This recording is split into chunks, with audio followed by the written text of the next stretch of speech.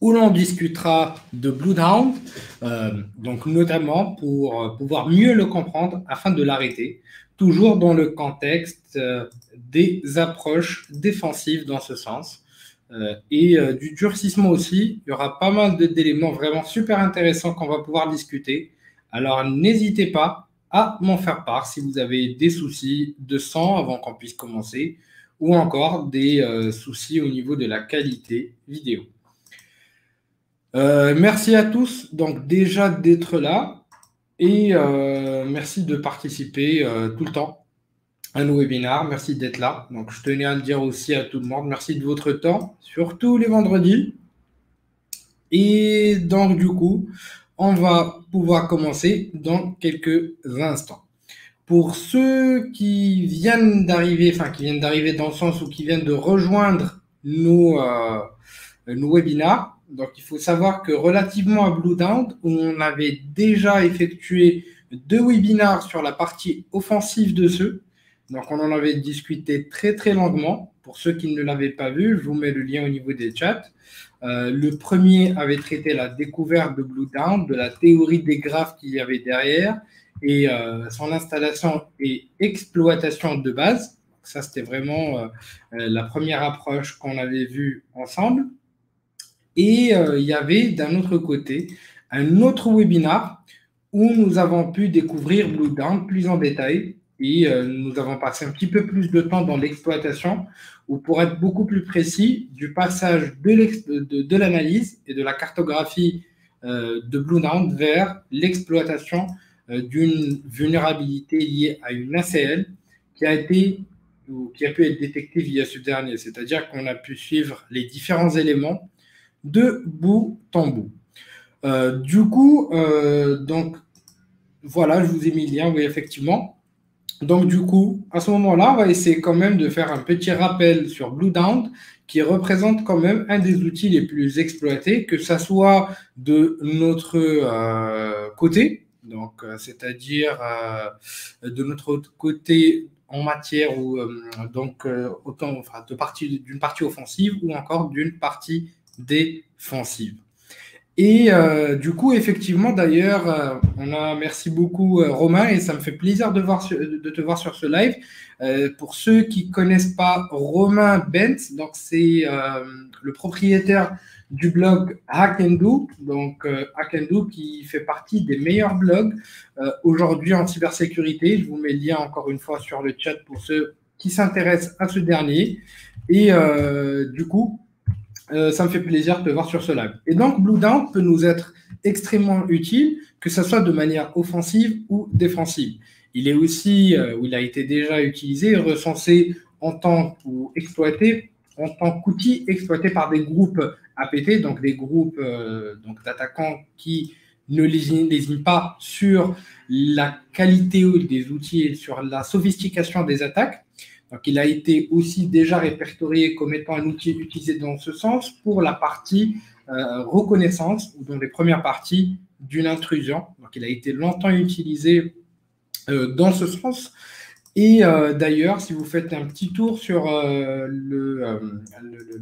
le, site du Mitre, donc vous pouvez voir un petit peu aussi quelques exemples de groupes qui ont pu l'utiliser. Donc là, je donne un petit peu des plateformes de référence, mais il y a aussi des des, groupes qui vont pouvoir être vraiment un petit peu plus, euh, un petit peu plus, euh, comment dirais-je, donc c'est normal Romain, donc du coup un petit peu plus corsé côté, euh, côté sophistication d'attaque qui ont déjà utilisé. Donc là sur la partie Mitre, j'ai pas vraiment trouvé les tous les groupes que j'ai pu répertorier de mon côté lors de mes analyses ou ce que j'ai pu voir un petit peu derrière sur les autres sur les autres, euh, euh, sur les autres analyses que j'ai pu voir un petit peu partout sur les réseaux sociaux. Mais derrière, et vous avez quelques petits exemples et euh, donc aussi les techniques qui peuvent éventuellement être utilisées par ce dernier. Nous reviendrons sur les techniques utilisées lorsqu'on va pouvoir discuter de Sigma. un outil super intéressant qui va nous permettre de générer des règles pour des SIEM, ce qui va être pas mal du tout et super intéressant dans ce sens. Et donc, du coup, euh, Blue Down, comme on a pu le citer précédemment, représente un des outils euh, les plus intéressants dans le monde de la reconnaissance des environnements AD. Donc, encore une fois, ce n'est pas que pour du défensif, euh, de l'offensif, pardon, mais c'est aussi, ou ça peut être exploité pour du défensif. D'ailleurs, tous les outils ou toute l'approche de, la sécurité offensive n'a pas forcément pour but de pouvoir apprendre à attaquer dans le vrai sens du terme, mais beaucoup plus de donner les bons outils pour pouvoir euh, nous permettre de détecter les bonnes vulnérabilités au euh, bon moment avant que quelqu'un d'autre puisse le faire. D'ailleurs, la reconnaissance ne va pas seulement être faite par Bluedown, parce que Bluedown est surtout là pour pouvoir nous aider à analyser ce qu'on va récolter comme information. Donc derrière, il y a des ingestors, on va en discuter. C'est ce qui va pouvoir nous permettre réellement de pouvoir récolter ces informations. Et la reconnaissance peut aussi bien être effectuée via Bluedown, qui va exploiter des techniques et scripts connus. Donc c'est les mêmes approches qu'on retrouve sur du Power View par exemple ou autre. Nous allons rentrer dans plus en profondeur dans la partie euh, dans la partie fonctionnement de Blue Down dans pas longtemps, donc dans quelques instants. Mais derrière, ce qu'il faut vraiment souligner relativement à ce dernier, c'est que Blue Down va pouvoir utiliser la théorie des graphes pour pouvoir identifier les chemins d'attaque les plus courts. Donc, il y a des maths derrière. Si vous faites un petit tour euh, sur le GitHub officiel, donc le repo officiel de l'outil, vous allez trouver pas mal d'éléments super, super intéressants dessus, sur le fonctionnement de ce dernier. Et je vous invite à voir les anciens lives que j'ai pu faire sur ce dernier, où on rentre beaucoup plus en profondeur dans le sujet donc, euh, de la théorie des graphes. Mais comme je vous l'ai dit, c'est qu'aujourd'hui, on va plus opter vers la partie, euh, donc vers la partie, euh, on va beaucoup plus opter vers la partie défensive, vers la partie blue teaming, beaucoup plus que red teaming à ce moment-là. Et donc, du coup, et à ce moment-là, va Blue va pouvoir utiliser des approches vraiment super simples pour pouvoir aller collecter de données avec ce qu'on appelle des ingestors, donc les ingesteurs entre parenthèses. Les ingestors, donc comme notamment Sharp Hound, c'est ce qui va pouvoir être utilisé pour pouvoir récolter les différentes informations qui nous intéressent et aller donc soit piocher et donc lire donc les, euh, des informations sur les différents objets de notre AD, ou encore on va pouvoir aller donc tout simplement ouvrir des connexions pour enfin des pipes pour aller chercher des informations sur des au niveau de partage de fichiers ou d'autres informations relativement à du RPC over SMB. Donc là on passe on peut aussi passer par cette approche là qui va pouvoir nous permettre de récolter un bon nombre d'informations, que ce soit sur les sessions utilisateurs, que ce soit sur les utilisateurs présents, que ce soit sur les sessions qui vont pouvoir être créées, et ainsi de suite. Donc là, en fait, ces ingestors, c'est des petits scripts qui vont aller récupérer ces différentes informations, et c'est ce qu'on va essayer de pouvoir découvrir un petit peu plus en détail par la suite. Avec Bluedown, ou Bluedown concrètement, ce n'est pas l'outil qui va nous permettre d'aller chercher l'information, c'est plutôt Sharphound ou d'autres variantes d'Ingestor. Donc là, tout au contraire, donc Bluedown va nous permettre juste de pouvoir effectuer correctement l'analyse concernée. C'est ce qui va être vraiment le plus important ici. Bluedown va nous permettre de faire l'analyse grâce à une théorie des graphes à ce moment-là. Et donc, du coup, ce dernier possède une interface graphique super, super sympa euh, pour pouvoir analyser toutes les entités AD et les relations entre ces dernières, donc, et ce qui va être plus intéressant, donc on en avait discuté euh, lors du live pré, enfin, le, deuxième live sur euh, Blue Down, c'est qu'il y a un langage de requêtage spécifique qui va pouvoir être exécuté. Si vous n'êtes pas forcément requête-requête, vous pouvez aussi, euh, ou langage de requêtage, vous pouvez aussi utiliser un ensemble de requêtes déjà prêtes, donc built-in, entre parenthèses, donc des requêtes qui ont déjà été mises en place par les équipes de développement de Blue ou par la communauté et euh, qui vous permettront de pouvoir effectuer les, euh, de, retrouver euh, une liste des actions les plus fréquentes au niveau de ce dernier. Donc, c'est-à-dire, et par exemple, de retrouver le chemin le plus court pour les administrateurs, de retrouver aussi les utilisateurs qui ont des sessions courantes sur des machines, de retrouver les relations de confiance entre les différentes forêts et ainsi de suite. Et donc, du coup, avec ce dernier, ça va nous permettre de récolter un bon nombre d'éléments, sans oublier, donc bien sûr, on avait discuté des énumérations de sessions d'utilisateurs, de groupes, les énumérations d'ACL, mais aussi les membres des groupes locaux. Grâce à cette théorie ou grâce à la théorie des graphes de ce dernier, cela va pouvoir nous, déterminer les chemins les plus courts et les plus rapides pour euh, pouvoir trouver donc tout simplement euh, donc pouvoir euh, arriver à nos objectifs. Nos, objectifs généralement, bon, c'est d'arriver aux administrateurs du domaine ou arriver à récupérer le chemin le plus court pour la partie administration de domaine. Et donc, c'est ce que l'outil va pouvoir nous permettre principalement de faire. Il va donc nous permettre de pouvoir dresser, euh, je dirais pas des keychains, mais des arbres d'attaque structurés qui vont nous permettre de pouvoir retrouver les différents liens entre l'utilisateur, entre machines, entre sources et cibles, mais aussi de pouvoir récupérer les différentes sessions donc sur notre réseau. Ceci nous permettant ainsi de pouvoir regrouper toutes ces informations, de pouvoir donc avoir de manière assez simple les éléments les plus intéressants, la voie la plus rapide, mais aussi euh, celle qui va pouvoir répondre exactement à notre besoin pour pouvoir arriver directement donc à prendre le contrôle le plus rapide euh, au niveau euh, euh, de notre infrastructure et donc de pouvoir arriver à devenir administrateur du domaine le plus rapidement possible. Après, encore une fois, ces outils-là ne sont pas forcément utiles que pour l'attaque. C'est au contraire quelque chose que vous devez faire souvent au niveau de votre infrastructure parce que derrière, c'est ce qui va vous permettre de pouvoir être vraiment, vraiment super, super réactif et vous permettre de pouvoir voir aussi derrière euh, lors d'une euh, lors d'une analyse euh, ou lors d'une reconnaissance, ce que peut voir ou ce que, ce que peuvent voir les, les attaquants donc vous, vous concernant donc en matière de reconnaissance. Et d'ailleurs, il y a beaucoup aujourd'hui même de groupes APT qui développent des ransomware qui possèdent la fonctionnalité de pouvoir utiliser Blue pour faire de la reconnaissance euh, donc au niveau d'un réseau. D'ailleurs, et euh, pour rappeler, merci Issam de me le rappeler, les auteurs de Blue c'est Emmanuel Gass et Lucas Bouillot de l'ANSI. Donc raison de plus de pouvoir utiliser Blue d'ailleurs. Et bien sûr, parfois ça peut apparaître comme euh, vraiment assez compliqué mais euh, Blue Down peut bien sûr représenter aussi bien en perspective beaucoup trop d'informations, mais derrière, grâce à son langage euh, de requêtage, cela en fait donc un outil qui va être vraiment super simple à utiliser. Donc d'ailleurs, on peut voir rapidement un exemple très très simple. Encore une fois, comme je vous ai dit, euh, je ne vais pas trop m'attarder sur l'utilisation de Blue Down, sur ses composants et sur ce qui va pouvoir être euh, exploité à ce moment-là au niveau de ce dernier. Donc, on ne va pas rentrer encore une fois dans le détail.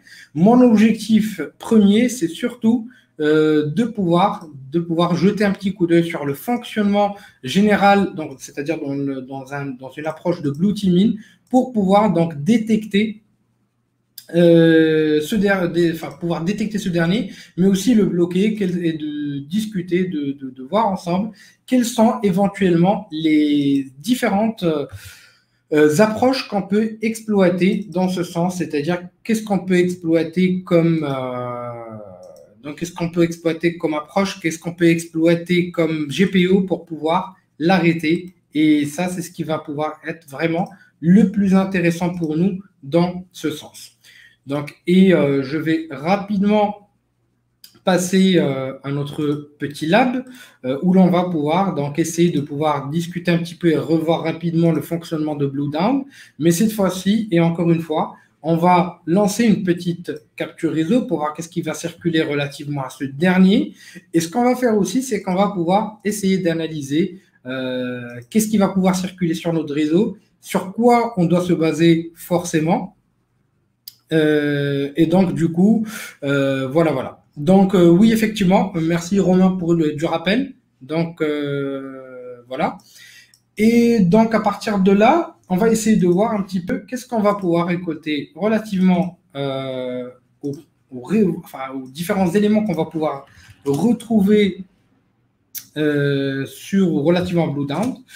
Et donc, pour vous montrer un petit peu, donc juste pour ceux qui n'ont pas forcément une idée de ce que cela va représenter, donc tac, tac, tac, tac, donc on va passer rapidement un petit lab. Hop, donc. Voilà. Ah oui, voilà, c'est bon.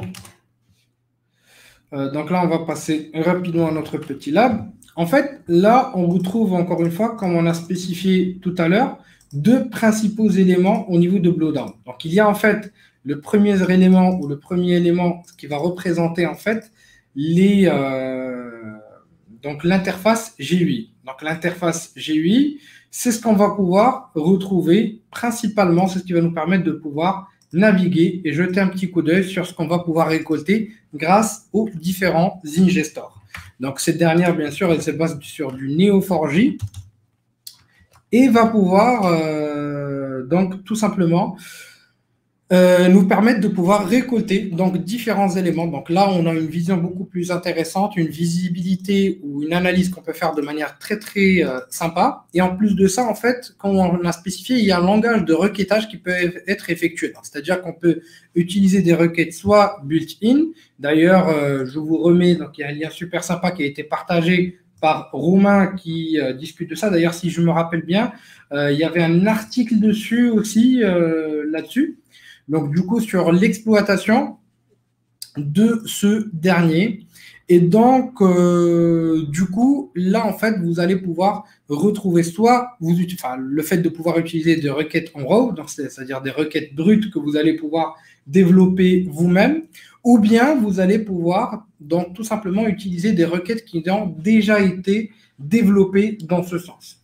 Donc, ces requêtes-là se basent donc sur les différentes informations qui ont pu être récoltées, notamment grâce aux ingestors. Donc, les, ingestors, donc, c'est ce qui a pu, donc, ou c'est ce que va pouvoir utiliser euh, l'attaquant ou le défenseur, enfin la personne qui fait, enfin qui va s'occuper soit d'attaque, soit de la défense dans ce sens, euh, soit la raid ou la blue team, et donc il va pouvoir s'occuper euh, de pouvoir exécuter sur les machines victimes ou sur les machines, sur la machine ou sur une machine appartenant au domaine, parce que n'importe quelle machine au niveau du domaine, et ça c'est normal, peut effectuer des requêtes LDAP pour pouvoir récupérer des informations sur les objets de, donc, euh, du domaine. Et donc, du coup, à partir de là, bon, il y a plusieurs types d'ingestors. Il y a Sharpant qui peut être sous format d'un exécutable. On peut avoir aussi sous format PowerShell. Et ou encore, on a aussi l'Azure Round qui va pouvoir être spécifique à Azure. Donc, oui, effectivement, pour de l'Azure AD et compagnie, on peut aussi exploiter Blue Down dans ce sens. Et euh, du coup, il y a aussi un autre élément, c'est que euh, il y a, par défaut, la signature de Blue est assez facilement détectable. Donc, du coup, vu qu'on a aussi un petit script PowerShell qui nous est fourni, on peut exploiter différentes approches d'obfuscation pour pouvoir cacher notre euh, cacher notre petit, euh, notre petit script euh, comme il faut. Et donc, à ce moment-là, on peut donc continuer notre, rapide, enfin, notre petit rappel rapide avec les différentes approches qu'on peut retrouver donc, relativement aux requêtes qui sont ou qui ont déjà été construites et qui sont présentes par défaut et en mode built-in sur sur Blue Donc là, on peut retrouver euh, tous les administrateurs du domaine. Euh, on peut retrouver euh, le chemin le plus rapide pour pouvoir accéder et devenir au, au, groupe pardon, administrateur du, domaine. Donc ça aussi, c'est assez sympa à être exploité. On peut retrouver les droits d'accessing s'ils existent sur notre domaine et ainsi de suite. Donc on retrouve vraiment un ensemble de requêtes qui nous permettent principalement de pouvoir retrouver euh, les chemins les plus courts. Donc, encore une fois, c'est basé sur la théorie des graphes pour différents objectifs. Donc là, on peut encore une fois se baser sur les objectifs qui ont déjà été spécifiés au niveau des requêtes déjà présentes au niveau euh, de euh, Blue Down, ou bien on peut aussi se baser sur les requêtes qu'on peut développer nous-mêmes grâce au langage de rectage qui va être exploité par le moteur de Bluedount. Donc encore une fois, on ne va pas trop rentrer dans le détail, donc simplement c'est pour rapidement, pour les nouvelles personnes qui nous rejoignent pour rapidement voir ceci. Mais euh, si vous allez donc relativement au dernier, euh, euh, au dernier live que j'ai fait dessus, donc ça va être vraiment super intéressant parce que derrière vous avez accès à l'enregistrement et vous avez accès donc à toute la session avec la partie exploitation, donc de bout en bout et de l'exploitation et l'utilisation de Bluedart. Donc, ce qui va nous intéresser maintenant, c'est vraiment les traces qui vont pouvoir être laissées par ce dernier et euh, donc les différentes, euh, les différentes traces qui vont être laissées par ce dernier, mais aussi donc les, différentes, euh, les différents indicateurs de compromission qu'on va pouvoir retrouver.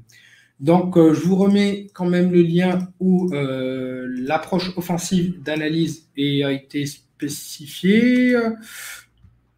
Donc, tac, tac, tac, tac. Donc, euh, j'ai mis ça ici. Voilà. Hop. Et voilà. Donc là, petite dizaine de secondes, donc ça charge rapidement. Et en fait, ce qui va nous intéresser le plus, comme on a dit, c'est de pouvoir retrouver les traces des différents indicateurs de compromission relativement à ce dernier. Pour pouvoir le faire, ben en fait, tout simplement, la première des choses, donc suite à l'exécution d'un ingester, qu'on va pouvoir effectuer, c'est de d'abord de pouvoir lancer donc une, euh, euh, donc une petite capture réseau pour voir un petit peu ce qui va circuler suite à l'exécution donc de nos ingestors. Donc la première des choses qu'il faut savoir relativement à Bluedown, c'est que derrière, il existe bien sûr différents euh, donc euh, euh, différentes approches d'analyse. La première des choses qu'il faudra souligner, c'est que les signatures par défaut sont connues. Donc les signatures par défaut vont pouvoir être exploitées et les signatures par défaut vont euh, pouvoir euh, être exploité euh, par les antivirus pour pouvoir détecter. C'est-à-dire qu'avec un petit Defender, s'il n'y a pas d'offuscation qui a pu être effectuée à ce moment-là, bah, les signatures donc, vont être vraiment assez connues et facilement détectables. Avec Microsoft ATA aussi, vous pouvez retrouver facilement des traces de détection de Blue Down, enfin de, des ingestors pour être plus précis, donc Sharpound, euh, quelle que soit l'approche qui va être utilisée. Donc la détection se fait vraiment de manière super, super simple. Donc ce n'est pas ce qui va être le plus compliqué. Après, bien sûr, il y a aussi différentes techniques d'offuscation, surtout en PowerShell, qui peuvent être utilisées pour cacher exécuter son code en toute sécurité, sauf si, bien sûr, derrière, il y a un travail préalable euh, qui consistera, bien sûr, à bypasser toutes les méthodes de protection qui ont été mises en place. Ensuite, il y a aussi l'analyse des requêtes dans le réseau. Donc là, en fait, on va passer par du count, vu que la plupart des requêtes qui vont pouvoir être effectuées, c'est des requêtes LDAP, principalement sur le port 636. Euh, donc, on peut retrouver de, de, ou encore du LDAPS. Donc, ça aussi, il faut souligner ce petit point-là.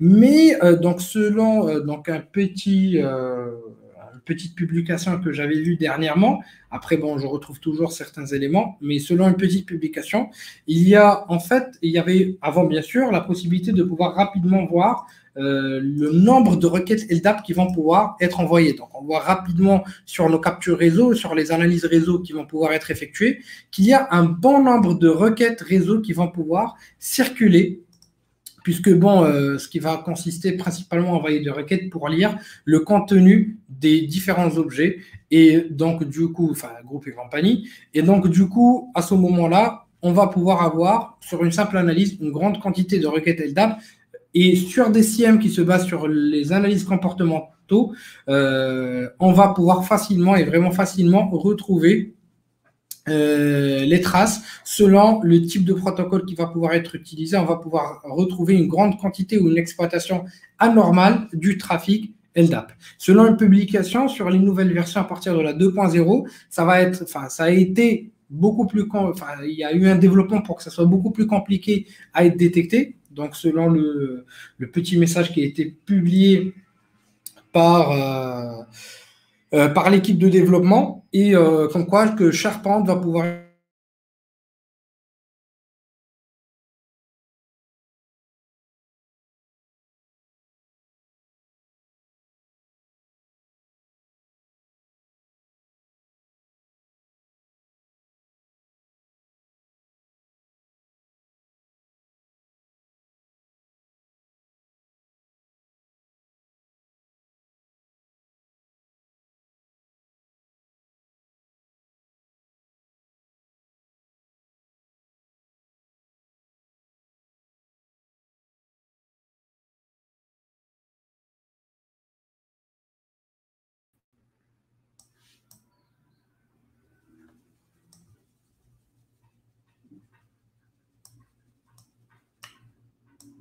Est-ce que vous arrivez à me réentendre, s'il vous plaît?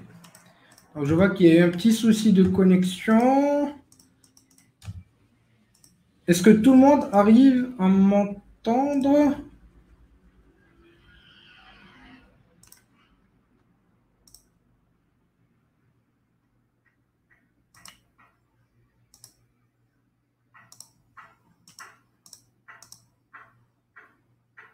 Voilà. Là, vous arrivez à m'entendre, s'il vous plaît. Parfait, je pense que c'est revenu assez rapidement. Super. Donc, du coup, euh, comme je vous ai dit, il y a des traces plus, euh, évidentes.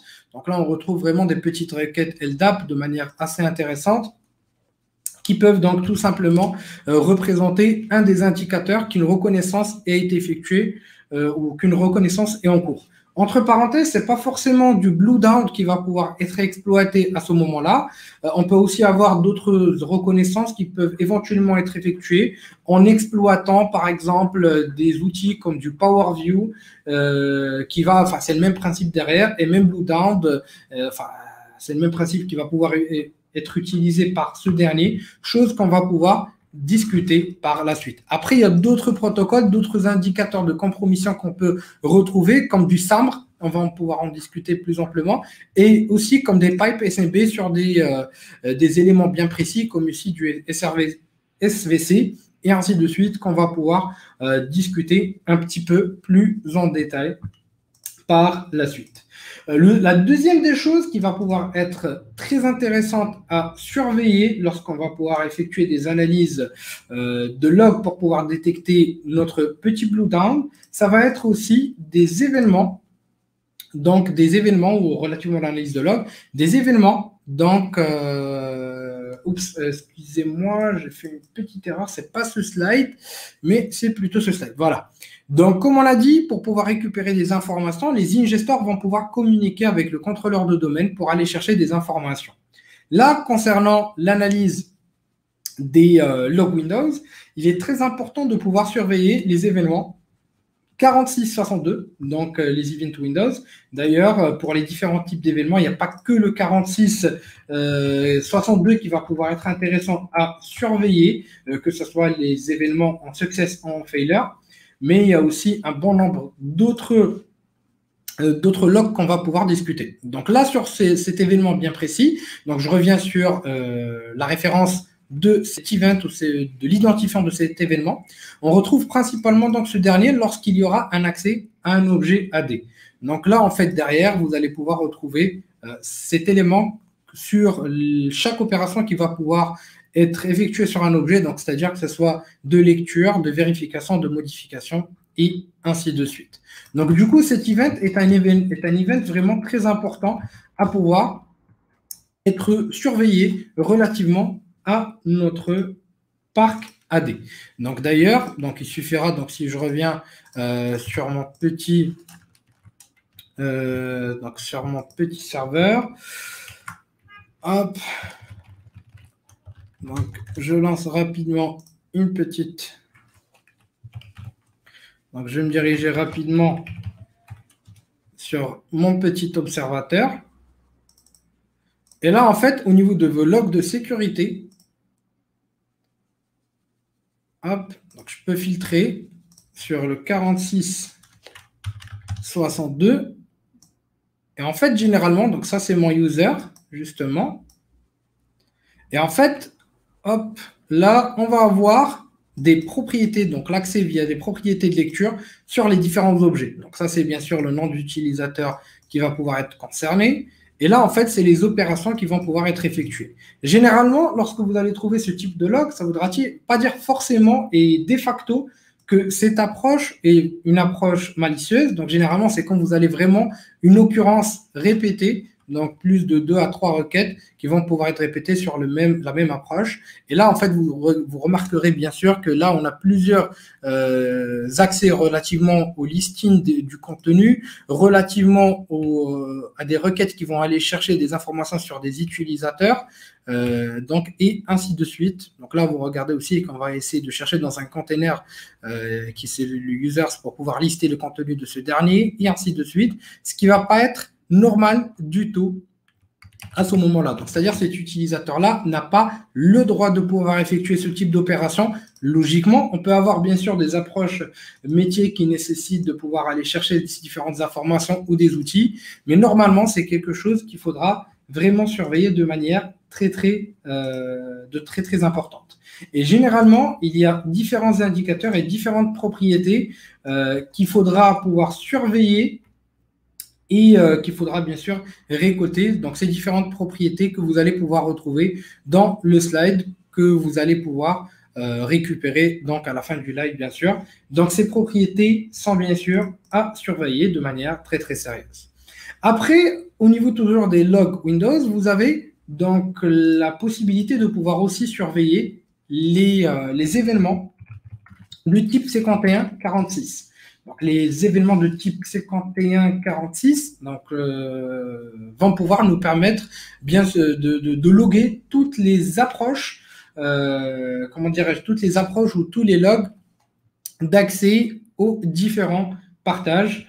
Et euh, donc, c'est un petit peu, c'est un point qui est vraiment très important à surveiller parce que derrière, enfin, il faut déjà bien sûr activer, la GPO pour les logs d'accès au share. Et en fait, au niveau de ces events, il faut vraiment surveiller les pipes d'accès à tout ce qui va pouvoir toucher.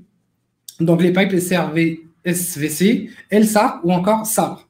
Pourquoi? Parce que ces derniers, c'est ce qui va pouvoir être utilisé pour pouvoir récupérer la liste des utilisateurs. Par exemple, si je prends le SRV SVC, ça va permettre de récupérer les informations sur le système. Le, euh, par exemple, le SAMR, quant à lui, va pouvoir me permettre de pouvoir récupérer et énumérer euh, le domaine et des informations sur les utilisateurs. Si je prends d'autres approches, par exemple, du LSAS, ça va me permettre de pouvoir extraire des informations et ainsi de suite. Donc, du coup, ces informations, on peut aussi les récupérer sur la base de ma capture réseau donc là, je peux voir rapidement qu'il y a des pipes qui vont pouvoir être ouverts. Donc là, on a le SRVC, par exemple, qui va pouvoir être euh, retrouvé. On a aussi d'autres approches, comme celle du SAMR. Donc là, on a aussi un autre pipe sur la partie SAMR qui va pouvoir être euh, euh, qui va pouvoir être donc requêté. Donc, parce que tout simplement, ce dernier va nous permettre d'effectuer une énumération du domaine et des informations sur tout simplement les utilisateurs du domaine. Donc c'est quelque chose qui va, qui doit pouvoir être surveillé, mais pour le faire, il faudra bien sûr activer la GPO qui permet de pouvoir loguer les différents accès au share. Donc d'ailleurs, c'est quelque chose qu'il faudra effectuer dans tous les cas parce que bon, ça reste vraiment super super important euh, à mettre en place. Ça nous permet vraiment de récupérer pas mal d'éléments très très intéressants et euh, donc, pas mal d'éléments aussi, euh, vraiment assez riches en matière. Donc là, je me suis trompé. Donc, des informations assez riches en matière d'accès aux différents partages. Après, bien sûr, vous pouvez aussi retrouver d'autres informations complémentaires sur la partie euh, Sysmon. Donc là, c'est quelque chose aussi euh, qu'il faudra bien sûr activer. Et sur le Sysmon, vous pouvez éventuellement retrouver beaucoup plus d'informations plus détaillées. Sur le Sysmon, par contre, euh, ça sera des, euh, des logs qui vont pouvoir concerner euh, les événements 18 et 3 principalement. Euh, donc là, si je vais vers le Sysmon, on va pouvoir aussi retrouver un bon nombre d'informations là-dessus. Donc, euh, et bien sûr, il faudra utiliser des fichiers de configuration bien spécifiques. Après, il n'y a pas que sur la partie ce que, que, que de manière directe qu'on va pouvoir récupérer cette partie-là ou ces informations-là, on peut aussi exploiter donc derrière euh, donc, euh, l'accès au fichier groupe.xml et gptmpl.inf. Donc, euh, là, c'est ce qui va pouvoir être exploité par Bluedown si le mode Stilt est utilisé. Le mode Stilt qui va pouvoir être utilisé par Bluedown pour pouvoir, donc, tout simplement, euh, euh, pour pouvoir donc tout simplement euh, sécuriser, enfin sécuriser plutôt pour pouvoir rester le plus furtif possible. Donc, si vous avez cette approche-là qui va pouvoir être utilisée par Bluedown, donc à ce moment-là, il faut faire attention à ce petit point parce que derrière, on peut retrouver des indicateurs qu'une reconnaissance via Bluedown est en train d'être exploitée. Euh, et toujours dans ce même contexte-là, on a aussi l'exploitation de différentes fonctions système, donc de la part de Bluedown. Donc, il y a des, ingestors pardon, de Bluedown. Donc, on a l'exploitation de fonctionnalités système ou de fonctions pardon, système, comme le NetSession Enum, ce qui va être utilisé par la plupart d'outils. On a comme d'autres fonctions qu'on peut retrouver là-dessus. Et d'ailleurs, il y a une petite, euh, une petite euh, comment dirais-je, une petite euh, euh, représentation très intéressante. Donc, euh, vous retrouvez bien sûr les, toutes les sources qui ont été utilisées là-dessus. Donc, il y a une petite possibilité super intéressante de pouvoir retrouver euh, donc la liste des différents outils ou les principaux outils qui vont pouvoir être utilisés pour de la reconnaissance, ce qui vont aussi pouvoir être utilisés comme fonction d'API, mais bien sûr encore une fois, les différentes fonctions qui vont pouvoir être exploitées ne vont pas forcément encore une fois être vraies à 100%, c'est-à-dire que vous pouvez avoir des faux positifs qui dépendront aussi derrière des euh, euh, donc comment dirais-je des vrais positifs qui vont pouvoir des, comment dirais-je euh, qui vont pouvoir par exemple être utilisés par des applications métiers ou d'autres applications exploitées au niveau de l'OS ou autre. Donc après, il faudra vraiment faire attention et ne pas se fier à 100% à des indicateurs de compromission. Et d'ailleurs, à ces indicateurs de compromission. Et d'ailleurs, de manière globale, lorsqu'on va utiliser n'importe quel outil, il ne faut pas, ou n'importe quelle analyse qu'on va faire, il ne faut pas se fier à une seule analyse ou une seule euh, ligne entre parenthèses de log ou autre, mais plutôt vraiment aller plus en profondeur pour pouvoir comprendre l'événement qui s'est passé pour donner du bon sens à ce moment-là. Et euh, donc là, ça nous permet de voir un petit peu ou d'avoir une visibilité euh, sur ce que va pouvoir utiliser ou ce qu'on va pouvoir utiliser les ingestors ou l'ingestor de Bluedown, euh, notamment, donc, comme on l'a dit, les fonctions, d'API qu'on va pouvoir surveiller, et notamment la Net Session Enum. Pour la Net Session Enum, euh, il faut souligner que derrière, ça va nous permettre, ça va permettre, c'est largement utilisé d'ailleurs, et ça va permettre à un bon nombre d'attaquants de pouvoir effectuer, donc, tout simplement, des, euh, donc, comment dirais-je, des reconnaissances sur le parc AD. Donc, pour pouvoir bloquer donc les net session enum, ou du moins pour pouvoir donner simplement les droits nécessaires ou les utilisateurs, ou seuls les utilisateurs nécessaires qui pourront effectuer cette énumération, parce que le fait qu'on puisse faire des, énumérations de sessions, rien que ça, en fait, c'est quelque chose qui va être extrêmement dangereux d'un point de vue de reconnaissance dans un parc AD. Donc, c'est quelque chose qu'il faudra essayer de sécuriser le plus rapidement possible. Et pour ceci, donc vous pouvez soit le faire manuellement, en passant par une approche assez rapide sur la partie registre, sinon vous pouvez vous baser sur le script de NetSys, euh, qui est un petit euh, script PowerShell euh, qui a été créé, enfin, créé par Kitai Grady et Berry de Microsoft qui a été publié quand même en 2016. ce script il va être utilisé pour modifier les clés de registre qui vont contrôler les autorisations de méthode net session. Donc, c'est une approche de durcissement des plus importantes qui va pouvoir être utilisée euh, dans ce sens, pardon, et euh, qui va pouvoir donc euh, nous permettre de pouvoir bloquer les requêtes orientées net session.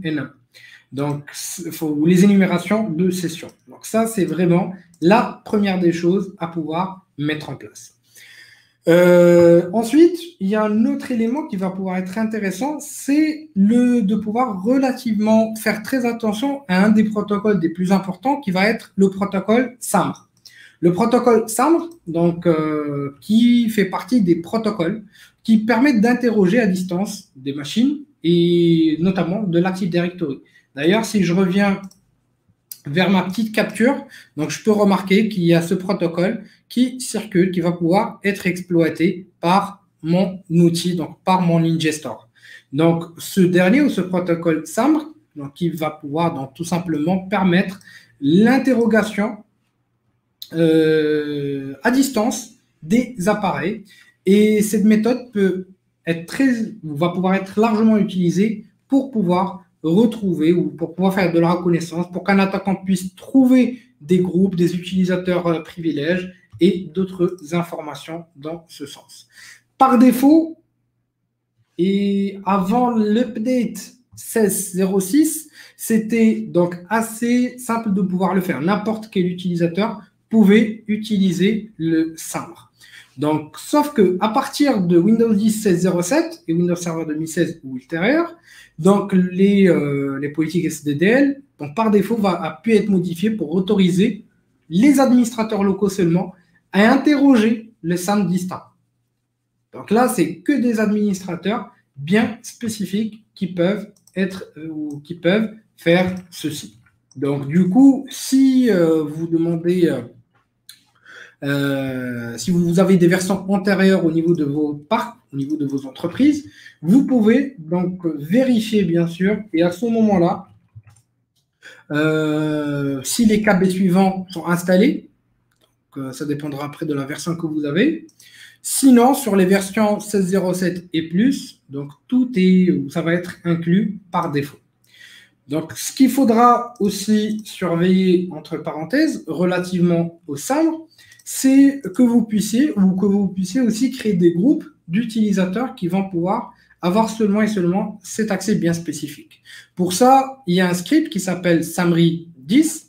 Euh, c'est un script PowerShell qui a été créé par Itai Grady, qui va être initialement publié pour aider à sécuriser euh, les euh, accès à la SAM à distance avant qu'il ne soit donc correctement introduit par Microsoft. si vous n'avez pas forcément la possibilité d'installer les KB concernés, vous pouvez aussi vous baser sur le, enfin, le script SAMRI10 qui permet de pouvoir créer un groupe appelé SAM distant, euh, de pouvoir modifier les SDDL pour inclure les groupes renouvelés créés, nouvellement créés, pardon.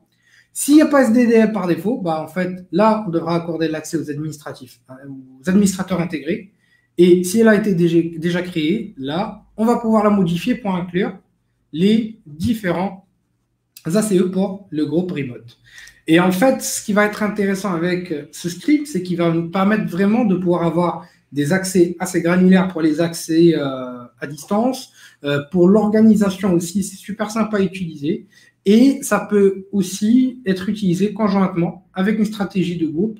Euh, donc pour pouvoir rapidement ou de pouvoir cibler mieux les différents éléments concernés. Vous pouvez aussi le faire via GPO, donc en, passant directement par les clés de registre, donc l'HKLM système, Current Control Set, surtout, enfin, sur la partie LSA. Et là, il faudra modifier donc votre SDDL. Et ça reste aussi donc une des approches que vous pouvez exploiter dans ce sens. Euh, après, bien sûr, il y a aussi d'autres éléments de durcissement relativement à la reconnaissance qu'il faudra surveiller de manière assez avancée avant qu'on puisse discuter d'un dernier élément qui vont pouvoir concerner euh, donc euh, quelques GPO. Donc surtout, donc là je ne vais pas rentrer dans le détail, on en discutera la semaine prochaine. Et là, ça va nous permettre vraiment de pouvoir modifier certaines stratégies de groupe pour pouvoir limiter la reconnaissance ou les possibilités de reconnaissance sur notre, euh, notre infrastructure. Donc, et là, bien sûr, on commence par le BABA, donc il va pouvoir être de pouvoir euh, restreindre les accès anonymes, donc euh, relativement aux différents pipes et aux différents fichiers de partage. C'est très, très important de faire très, de, faire très attention à ce point-là, parce que derrière, ça va nous permettre de pouvoir éviter les sessions anonymes qui puissent donc interagir et effectuer des, donc, comment dirais-je, de, la reconnaissance sur notre infrastructure. Donc, il y a aussi un second élément, c'est de ne pas pouvoir permettre des énumérations des comptes SAM et des euh, partages par des utilisateurs ou l'énumération de partage par des utilisateurs anonymes et bien sûr l'accès euh, aux différents partages de manière anonyme doit être donc strictement interdit. Il faudra aussi désactiver, toujours sur la partie Network Access, accès au réseau, donc les permissions ou euh, euh, donc les permissions spécifiques qui vont pouvoir être accessibles aux comptes anonymes, de pouvoir permettre la transaction automatique donc des, euh, des SID et des noms anonymes, et bien sûr, et le plus important, c'est de restreindre euh, les null sessions, ce qui va nous permettre d'éviter vraiment beaucoup de problèmes donc à travers les registres suivants. Donc il faudra mettre les registres spécifiques qui ont été spécifiés, que ce soit les null sessions, donc là dans la première partie, qui doit pouvoir être mise à 1. Euh, il y a aussi l'énumération par ou euh, l'énumération l'accès SAM. Donc par défaut, les, euh, les comptes vont pouvoir être 1. Donc c'est-à-dire que par défaut, les comptes ne pourront pas énumérer ou les comptes, les, null sessions ou les sessions anonymes ne pourront pas euh, énumérer les noms d'utilisateurs. Et bien sûr, il faudra aussi mettre le dernier registre à zéro. Donc à ce moment-là, en fait, ça va nous permettre de pouvoir euh, euh, éviter que les sessions anonymes, donc les new sessions, puissent avoir des éléments ou des, des droits bien spécifiques. Après, pour la détection, vous, il y a aussi une autre approche sur laquelle vous pouvez vous baser, c'est un des outils des plus intéressants c'est euh, l'outil Sigma. Là, l'outil Sigma fait partie des outils des plus intéressants. Euh, donc, je l'ai découvert euh, il n'y a pas vraiment longtemps grâce à un tweet de Florian Roth, donc, qui parlait un petit peu de Sigma et tout. Et ce dernier, en fait, permet de pouvoir générer des signatures pour. enfin, c'est un système qui permet de générer de façon générique donc, c'est un format de signature générique pour pouvoir générer donc des règles pour des systèmes SIEM. Sigma est vraiment super intéressant parce que son format permet de créer en une seule fois une seule règle derrière qui va pouvoir être convertie pour tout type de euh, SIEM, quel qu'il soit.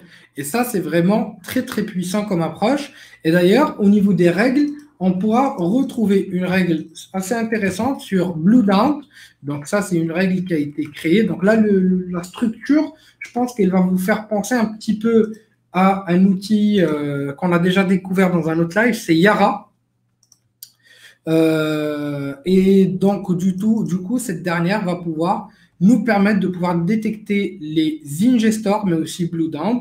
Donc là, vous remarquerez qu'il va se baser principalement sur euh, donc, euh, les, informations récupérées avec Sysmon. Donc, avant de pouvoir utiliser ce type de règle, il faut disposer de Sysmon, où le Sysmon doit être déjà déployé au niveau des différentes machines. Et euh, ce qui va être encore plus important, c'est que vous puissiez donc avoir un SIEM, bien sûr. Donc un SIEM, vous n'êtes pas obligé d'avoir un SIEM qui coûte cher. Euh, vous avez plein de systèmes qui sont open source, enfin, pas tous les modules, pas tous les plugins, mais côté open source, c'est déjà assez sympa. Et euh, donc, du coup, à ce moment-là, vous pouvez retrouver euh, ces techniques de détection avec Sigma, qui permet de pouvoir récupérer donc, ou remonter une alerte si jamais, donc tout simplement, il y a la détection d'une image, c'est-à-dire d'un binaire Bluedown ou Charpent.x, de pouvoir détecter des composants des lignes de commande, comme par exemple get Bluehound data, invoke Bluehound, ou encore les collection méthodes. Après, vous pouvez en rajouter d'autres comme vous voulez, stilt, mode ou autres qu'on peut retrouver sur du Bluehound. Vous pouvez aussi euh, retrouver d'autres euh, euh, commandes qu'on retrouve ici comme ce qui nous permet de pouvoir spécifier le répertoire JSON ou le répertoire de sortie des fichiers JSON ou encore le nom du fichier, enfin le nom du fichier zip qui peut être généré pour Bluedown et ainsi de suite. Ici aussi pour le no-save cache et le DC en lit si on souhaite pas être vraiment très très bruyant sur le réseau. Donc là, vous avez des tags, c'est super sympa. Et en fait, quand vous avez cette structure de règles, et je rappelle qu'il n'y a pas que cette règle-là, il y a aussi d'autres règles très intéressantes que vous pouvez retrouver sur Sigma, que vous pouvez exploiter euh, au niveau de votre SIEM. Donc là, il y a vraiment tout ce qu'il faut euh, là-dessus. En fait, il vous suffira simplement de pouvoir exécuter une petite commande Sigma C, T, vous devez faire le choix du SIEM euh, destinataire, ça peut être le LK, de l'ArcSight ou autre. Ensuite, de pouvoir choisir euh, le fichier de règles euh, donc de sortie et ensuite le fichier de règles d'entrée. Et en fait, généralement, ça vous génère assez rapidement la ligne euh, ou la requête de recherche que vous devez utiliser au niveau de votre donc au niveau de votre euh, donc, comment dirais-je euh, Donc, euh, au niveau de votre, au niveau de votre recherche, de, donc celle de votre SIEM, tout simplement. Donc, et à partir de là, de manière globale, ça devient un petit peu plus simple à être exploité. Et je vous encourage vraiment à voir Sigma parce que ça reste vraiment un des outils les plus intéressants et euh, les plus cool pour ceux qui vont pouvoir euh, être dans un SOC ou si vous vous chargez de la partie administration ou surveillance.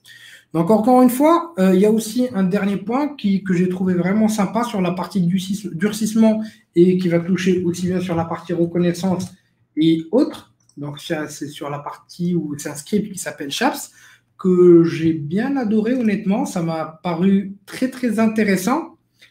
Et euh, Chaps, en fait, c'est pour Configuration Hardening Assessment, pour chez Script, un script qui reprend un petit peu le script qu'on a vu, donc le NetSys, mais aussi qui reprend d'autres scripts complémentaires qui permettent notamment de pouvoir euh, sécuriser à bien euh, donc notre, euh, euh, notre parc. Donc on retrouve les anciennes méthodologies de durcissement qu'on a déjà découvert au préalable, comme la désactivation de l'élémentaire, du WPAD, du NetBIOS et ainsi de suite, mais aussi euh, d'autres éléments vraiment super intéressants. Et je vous encourage vraiment à jeter un petit coup d'œil là-dessus. Je vous mets lien au, niveau du chat, comme ça vous l'avez aussi derrière. Et euh, encore une fois, donc euh, voilà, donc je pense qu'on a fait un petit peu le tour des différents éléments aujourd'hui. Et euh, pour la semaine prochaine, donc ça sera le tour, donc ça sera vraiment très très pratique. pour la semaine prochaine, ça sera une petite discussion qu'on va pouvoir faire sur sur la partie silver et golden ticket. Euh, du coup, euh, sur la partie Silver et Golden Ticket, donc là, le lien va pouvoir être partagé par mes collègues. Voilà, c'est bon. Donc là, pour la sécurisation de Kerberos, donc euh, les attaques et les sécurisations de Kerberos. Donc là, on va discuter du Silver et du Golden Ticket.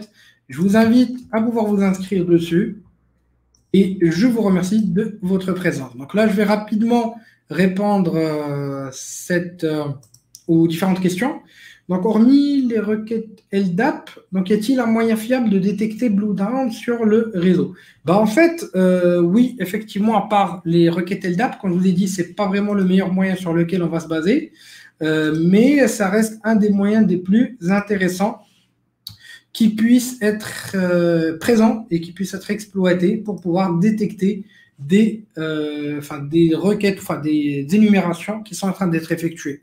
À part ceci, ben, en fait, il y a bien sûr le RPC over SMB, le SAMR aussi, qu'on va pouvoir retrouver, donc euh, qu'on a discuté tout à l'heure.